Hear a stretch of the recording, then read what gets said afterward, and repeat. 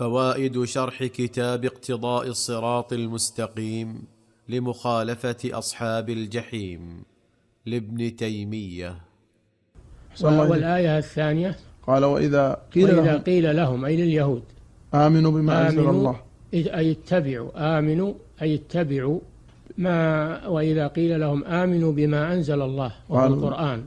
بما أنزل الله وهو القرآن. القرآن الذي أنزل على محمد صلى الله عليه وسلم واتبعوه قالوا نؤمن بما أنزل علينا يعني لا نقبل إلا ما عندنا ولا نقبل ما عند غيرنا نعم. وهذه عص وهذا تعصب ممقوت فإن الحق يقبل ممن جاء به والحق ضالة المؤمن لا سيما وأن الذي هم عليه إما أنه مبدل ومغير وإما أنه منسوخ بالقرآن لا عمل عليه. ومع هذا يقولون نؤمن بما أنزل علينا. علينا. وكذبوا في ذلك. لأنهم لو آمنوا بما أنزل عليهم لاتبعوا محمدا صلى الله عليه وسلم. لأن الذي أنزل عليهم يبشر بمحمد صلى الله عليه وسلم. الذي يجدونه مكتوبا عندهم في التوراة والإنجيل. يأمرهم بالمعروف وينهاهم عن المنكر. ويحل لهم الطيبات ويحرم عليهم الخبائث ويضع عنهم إصرهم والأغلال التي كانت عليهم فالذين آمنوا به وعزروه ونصروه واتبعوا النور الذي أنزل معه أولئك هم المفلحون.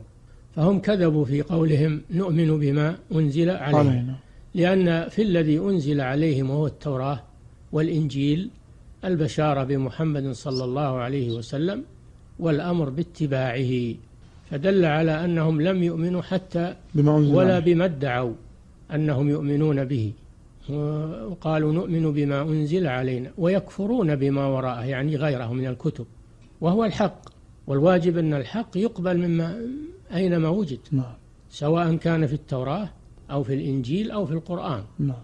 المؤمن يدور المؤمن الصادق نعم. يدور مع الحق أينما وجده أخذه. فهؤلاء لا يريدون الحق وإنما يريدون اتباع أهوائهم وهو الحق مصدقا لما معهم. القرآن يصدق الكتب التي معهم ويوافقها. فكيف يكفرون بالقرآن مع أن القرآن جاء مصدقا لما- لما سبقه من الكتب ومهيمنا عليها وهو الحق مصدقا لما معهم. ثم إن الله سبحانه وتعالى فضحهم في قولهم نؤمن بما أنزل علينا. كيف يؤمنون بما أنزل عليهم وهم يقتلون الأنبياء؟ هل الذي يؤمن بالأنبياء يقتلهم؟ كلا. ها فالله جل وعلا عيرهم بذلك. قل فلم تقتلون أنبياء الله. أنبياء الله إن كنتم صادقين. فقد قتلوا يحيى وقد قتلوا زكريا وقتلوا ابنه يحيى وأرادوا قتل عيسى فمنعه الله منهم وأرادوا قتل محمد صلى الله عليه وسلم فحماه الله منهم فهم يقتلون الأنبياء مع أنهم يقولون نؤمن بما أنزل. علينا فهم كاذبون في ذلك.